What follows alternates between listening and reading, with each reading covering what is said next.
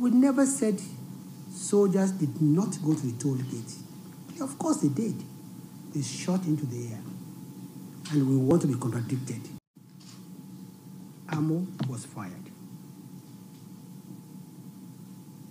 And the question I actually want to ask CNN where did they get their own live bullets from? You see, because the general gave his testimony publicly and went as far as I said, while I awaiting the outcome of the panel, as of today, this is the situation. And I say, if there's anybody who knows anybody whose son or daughter or what is missing or who was at the toll gate, Lekki, on the 20th and is unac- unaccounted for, such fellow should please proceed straight to the judicial panel. So how am I putting pressure on the judicial panel? I have absolutely no reason to doubt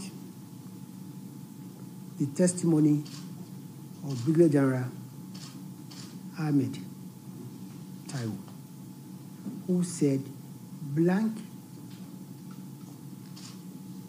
ammo was fired. And the question I actually want to ask CNN where did they get their own live bullets from? You see, because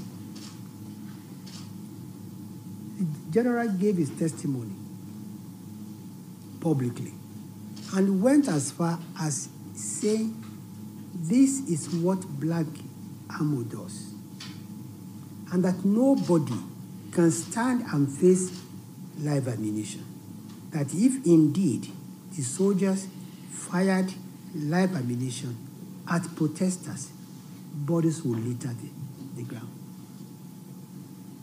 we never said soldiers did not go to the toll gate.